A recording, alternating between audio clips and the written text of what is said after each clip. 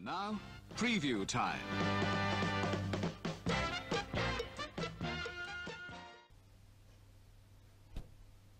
Sky News. Sky News aren't messing around. They? See that? 933. So you got 333 which is 9 and then 33.